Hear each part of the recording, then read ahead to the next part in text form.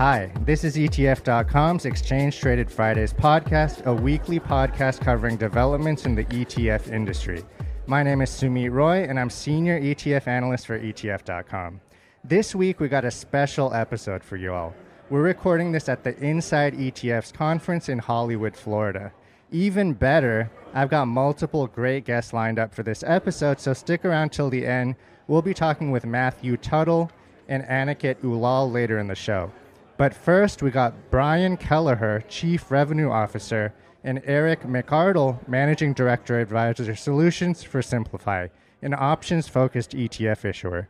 Brian, Eric, welcome to the show. Thank you for having us. Thank you. So, you guys are all about option strategies at Simplify. It seems to me option strategies have really caught on recently, and we've seen big inflows, particularly into covered call equity strategies. Have you seen a sea change when it comes to the demand for option strategies?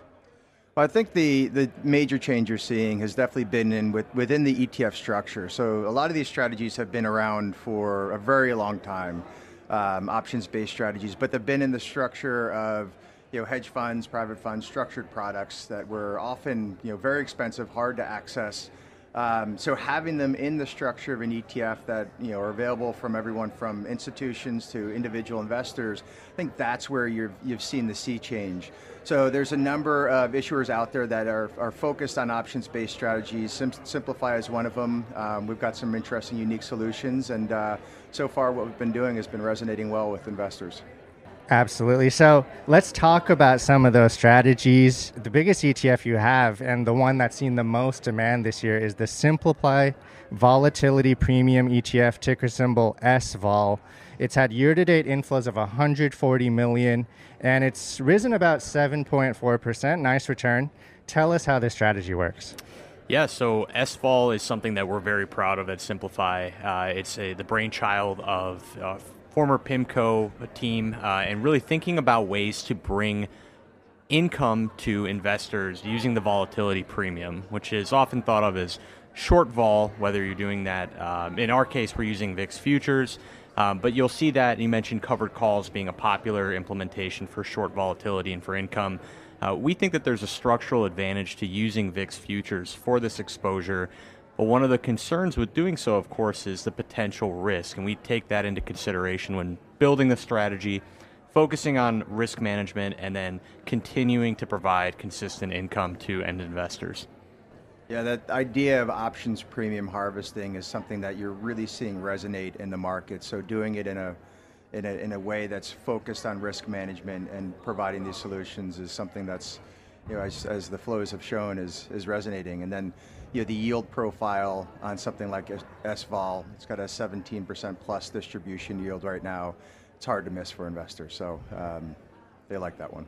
Absolutely. It's developed its own little fan club. It's fun to watch.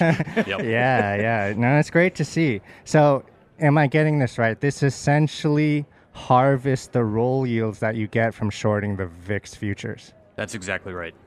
Okay, okay. So, of course, the short VIX trade was very popular. I don't know, it was like five, ten years ago or so. Yep. Then we had that event called Volmageddon in 2018 or so, and a bunch of VIX, short VIX ETFs blew up.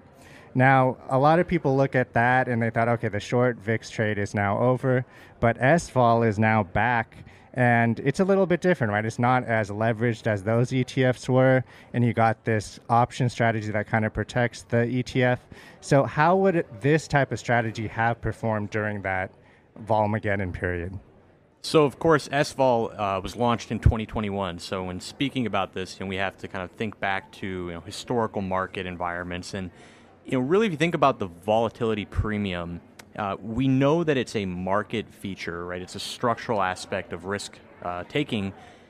And a lot of folks kind of, you know, think about this as a free lunch, right? But the problem is, so many firms before have come in and gorged themselves at this free lunch to the point where they get themselves in trouble.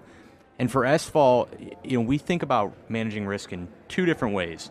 One, we limit the exposure to that short VIX trade to make sure that we're never in a period where you have any, you know, knockout risk essentially.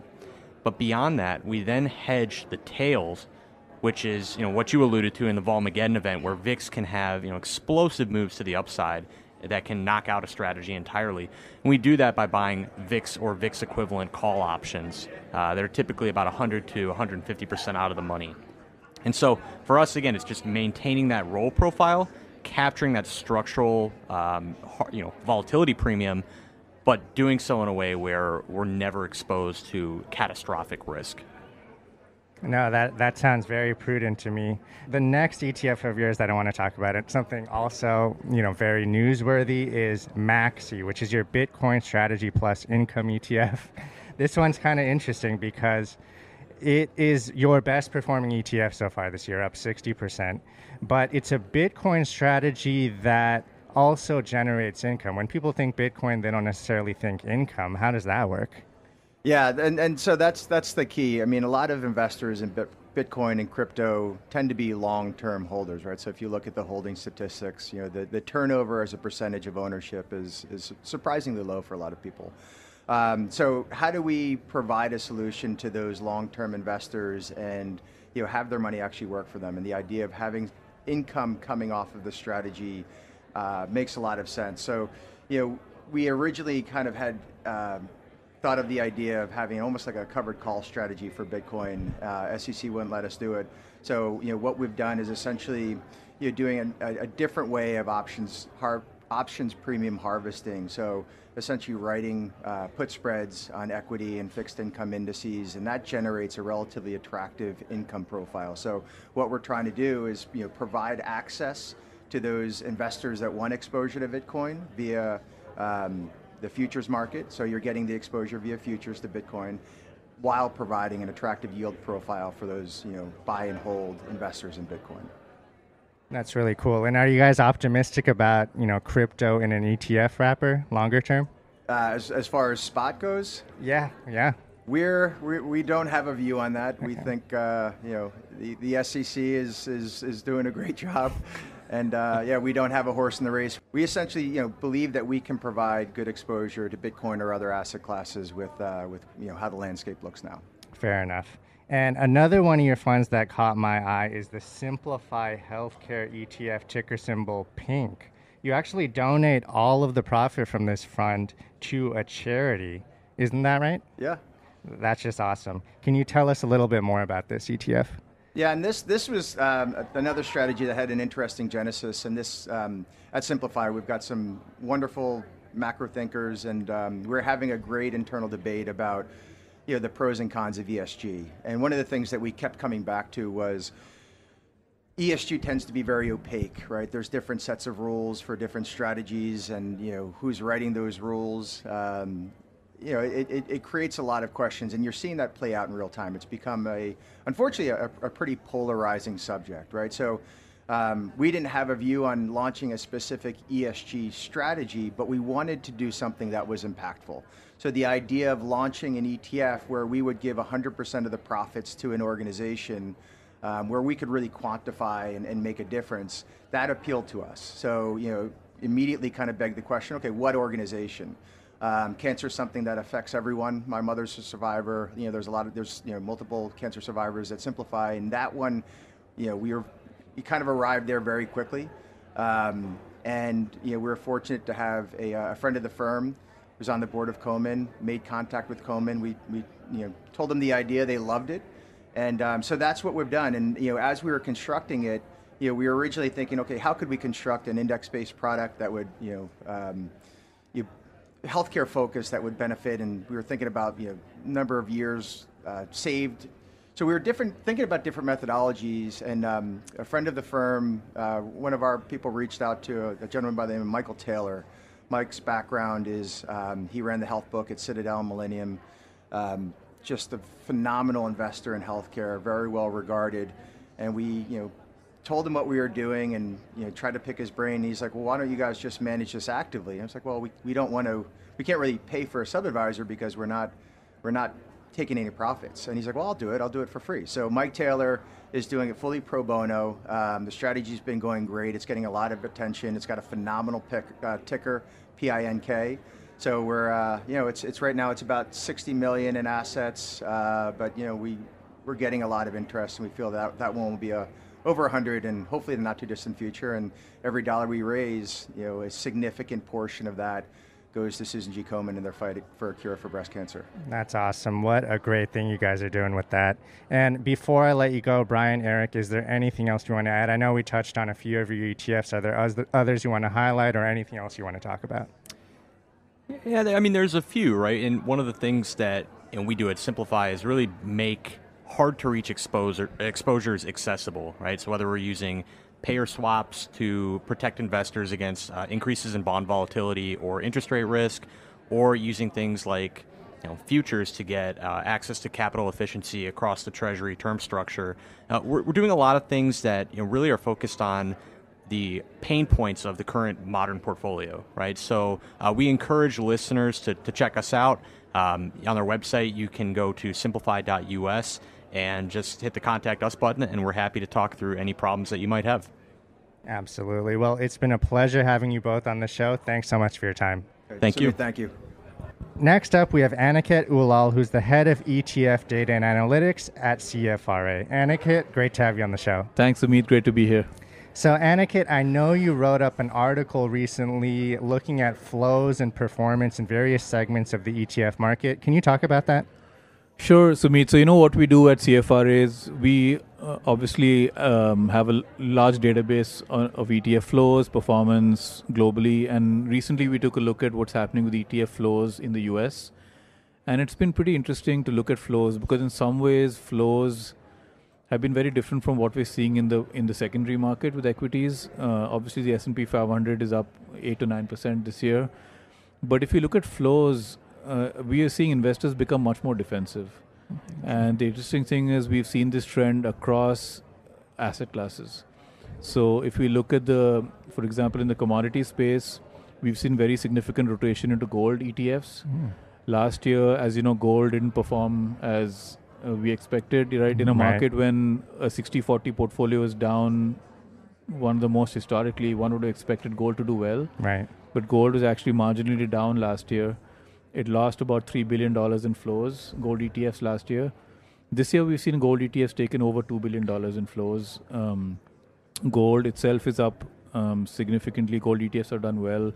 And gold miners, which tend to kind of do very well when gold is up and kind of magnify that the return, yeah. have also done really well. So, um, to us, that's a sign that you know investors are being more defensive part of it maybe you know is just driven by obviously concerns about the debt ceiling but there's probably also broader macroeconomic issues around inflation which even though it's moderating is still high. Rates tend to be are still high.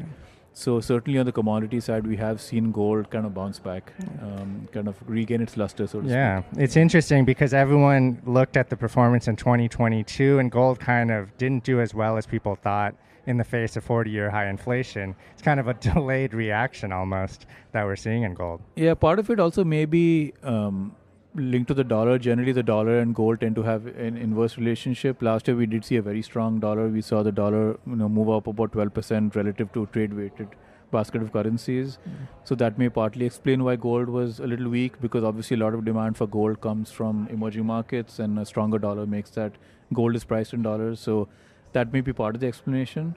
Um, this year, obviously, the dollar hasn't been as strong. And so that may be one of the reasons we've seen gold, apart from all the macroeconomic yeah. factors I mentioned, that yeah. may be a factor here. Great so. point. Yeah, it's easy to forget that the vast majority of gold demand comes from outside of the United States.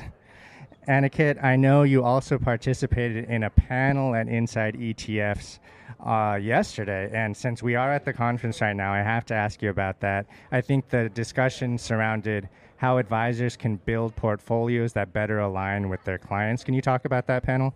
Sure, it was, it was a great discussion. We had representation from you know the financial planning side. We had um, somebody join from Calamos, so the asset management side, and of course I was representing kind of the independent research nice. um, community and providing that perspective, which touched on a couple of um, different themes that I think are top of mind for advisors right now the first thing we started with was you know what does it mean to act in a client's best interest so uh, you know i was i was kind of touched on the fact that to really for advisors to follow that reg bi and and meet the fiduciary standard in spirit what it really means is knowing your product knowing the risk reward the cost being able to compare products and that's really for us as an as an independent um, data provider and research provider. Kind of, uh, we take that seriously because advisors rely on our ratings and research to make the recommendations.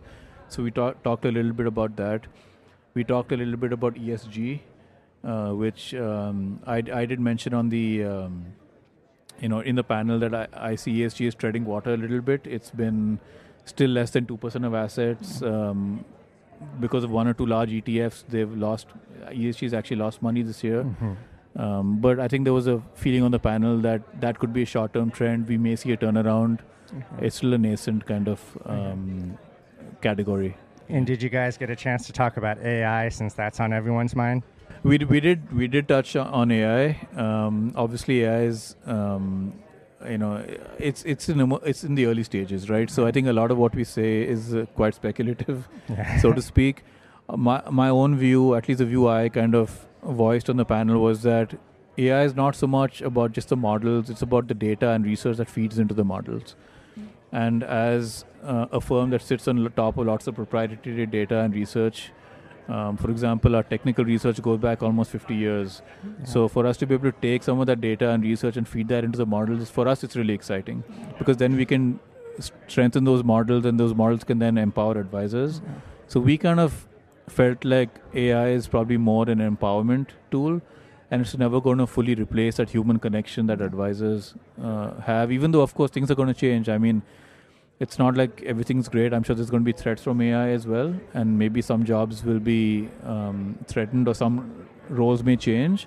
But overall, we see it as an opportunity. That's great. I'm sure a lot of listeners are going to be encouraged to hear that. Now, before I let you go, Aniket, I want to ask you about two very popular ETFs this year Qual and JEPI. Can we go through them one by one? And I just want to know your take. Why are they so popular? What do you think of these ETFs? Why don't we start with Qual? So Qual is basically holds companies that are, um, you know, have high return on equity, low financial leverage, strong cash flows.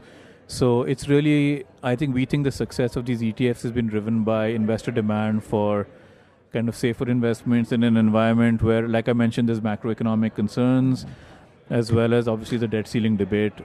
I think partly what's driven Qual's demand is also um, some asset allocators and people building models have allocated to Qual, and that resulted in a very sharp uptick in, in flows actually in March. Um, the interesting thing about Qual is that it actually holds quite a lot of technology, and Mm. technology has actually done really well this year. Yeah. So Qual has actually performed better than the uh, S&P 500 or SPY. Um, that's not been the case with all quality factor ETFs. Some of them have much more of a exposure to energy, and so energy, of course, has been challenged this year. Right. So Qual has actually done better than most of its its peers this year. Interesting. A- And what about JEPI? This is probably the most popular ETF this year. Right. Well, JEPI, I think, continues. It's an interesting strategy because it combines a low vol exposure with a covered call options writing strategy on top of it. So I think the reason why um, investors like it is because obviously it generates a lot of income through the call writing, Yeah. but then the nice thing about it is that if the investors do have the equity risk, it's still low vol equities. Yeah. And so it's really, I think it's a product for its times. I think it's, it's kind of appropriate for this Yeah. environment. That probably explains why it, it uh, but I think it is important to understand that a covered call strategy is always going to outperform, I mean, I'm sorry, underperform when the market's going up sharply, Yeah. right? Yeah. Um, because the upside is capped to some extent by that. So as long as investors understand, uh, I, I, I think of it as that's not a bug, that's a feature of the Yeah. product. And I think one needs to understand that a low vol strategy with covered call writing is going to it's it's going to underperform the broader market. Yeah. But we have seen interest in that, and I think it broadly reflects the evolution of the ETF space towards these kind of more slightly more complex, you know, options-based Yeah. strategies, um, and more towards kind of structured product. Absolutely. And we Yeah. can't forget this is an actively managed ETF, so a That's lot of the performance is going to come from the stock picking ability of the managers. True, absolutely, that's a great point. Yeah. Well, Aniket, it's been a pleasure having you on the show. Thanks so much for your time. Thank you, Simi. It's great being here. Next up is Matthew Tuttle, who I'm really excited to speak with. Matthew, thanks so much for joining me. Hey, thank you for having me.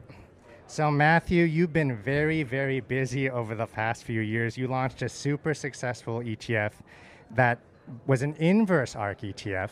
Then you sold that ETF Then you launched a Jim Cramer themed ETF. I just want to know what you and your firm are focused on today. So we're focused on a lot of different things. Um, I'm kind of ADD like that, where I, I, I, go in a million different directions. Uh, so you know, we just filed for a 2x long and a 2x short on ARK. Uh, you know, we think there's some demand for that on the 2X side. Yeah. We also just, uh, in partnership with the guys at RexShares, filed for 2X long, short Tesla and Nvidia. Yeah. You know, single stock ETFs just hit a billion, right. um, I think, yesterday. So, you know, I think they've been successful. Um, and I think we've learned a lot about single stock ETFs and where the demand is going to be. So we're going to be active in that.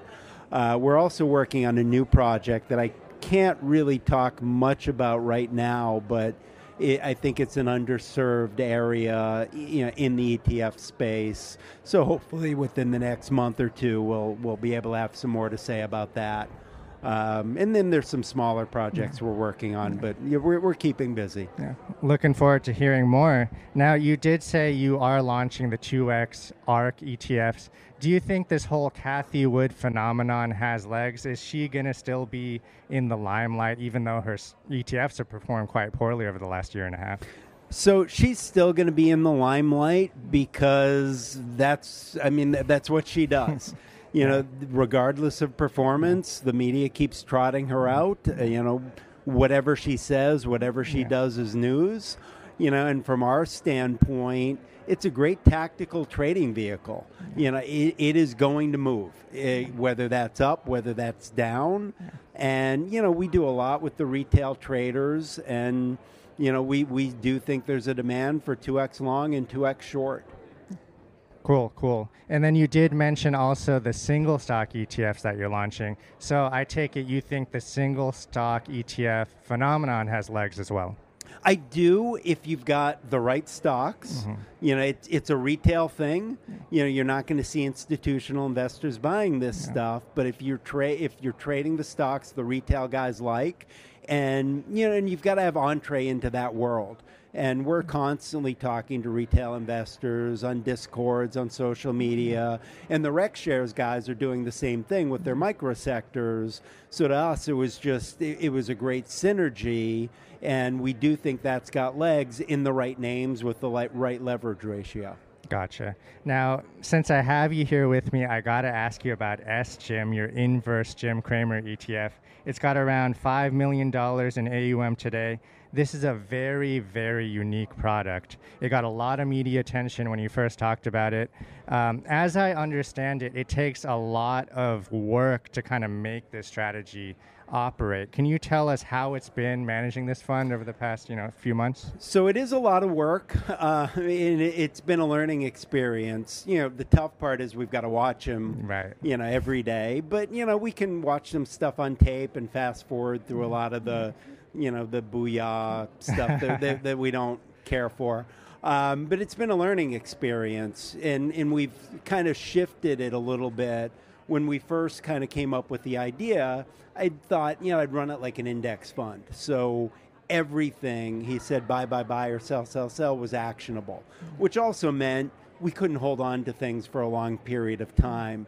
And what we found is, you know, things like Silicon Valley Bank, which would have been in the portfolio but would have had to come out before it went to 0 mm-hmm. and a lot of other names like that you know, we thought that wasn't the ideal strategy. So we've kind of shifted where now what Jim says goes on a watch list, and we can kind of pick and choose from that list. That allows us to have a more concentrated portfolio on LJIM and SJIM, and allows us to be much more, more responsive to what's going on in the market. Because you know he may mention a stock, and it may keep going up for a while, and then a month later, you know, it goes down fifty percent we want to be able to capitalize on those movements. That's great. So this has got to be like one of the most unique ETFs on the market today.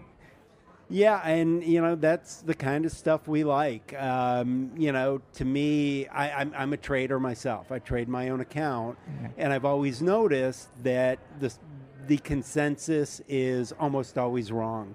And I've been looking, you know, how do you monetize that? And the beauty of Jim Cramer is he's the consensus on steroids. Right. you know, he's got to swing at every pitch, and you know the results of him swinging at every pitch speak for themselves. Consensus on steroids. I love that.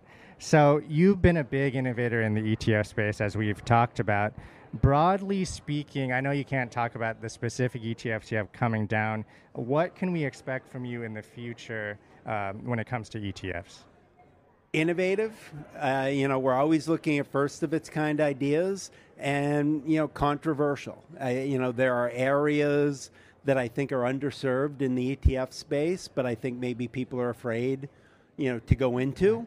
Um, you know, we're always going to look at stuff though from an investment perspective. There's got to be a use case.